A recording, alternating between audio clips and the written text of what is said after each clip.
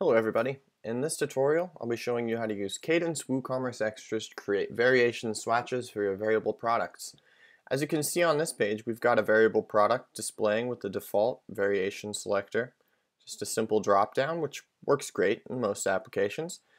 Now you can see we're selling a t-shirt. We're selling that t-shirt in multiple colors, so why not add a little bit more of a visual appeal for our customers? It's pretty simple to do actually, so let's get started. Alright, so after you've installed the Woo Extras plugin, which I'm going to assume you can do that if you're running a WordPress site, if you are not familiar, just simply do a Google search like install plugin WordPress and you'll get a bunch of tutorials that'll help you do that. Now that you've got the plugin installed, just go to the Woo Extras area on the sidebar, click it, and it should take you directly to your variation swatches default settings. Now you can choose to disable them entirely on your site if you like.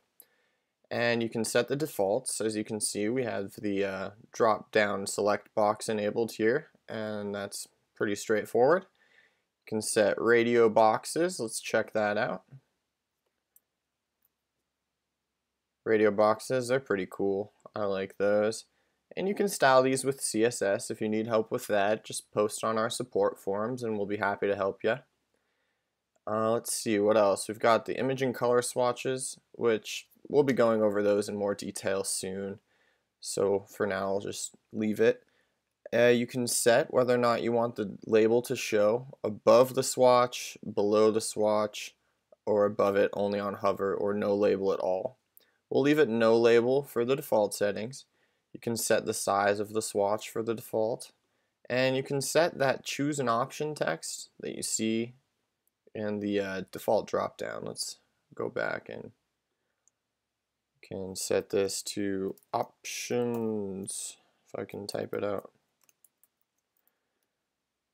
And let's see if those settings are reflected. Perfect. Yeah, so that's pretty handy. But we want to customize this single product. So we'll go into that products page and we'll scroll down here.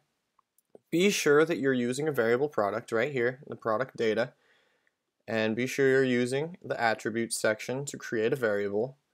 Make sure you mark used for variations, otherwise it won't show up right here. And you want to add it. And then you should see it in this variation swatches tab right there. As you can see, it's at the default now, the drop down. Radio boxes, we looked at those already. And now for the color and image swatches. So we'll select that and let's configure a label just so you can see what that looks like.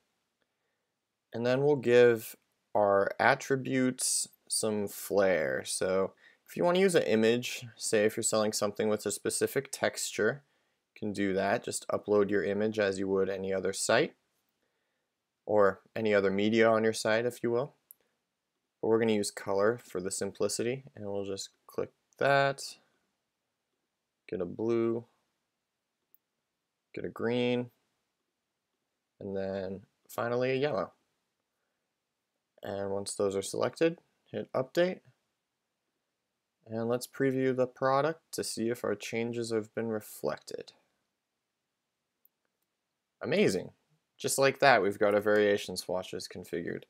It's a pretty straightforward process, but if you have any questions regarding any of it, always feel free to post on the support forums and we'll be happy to help. Thanks for watching the video. Have a great day.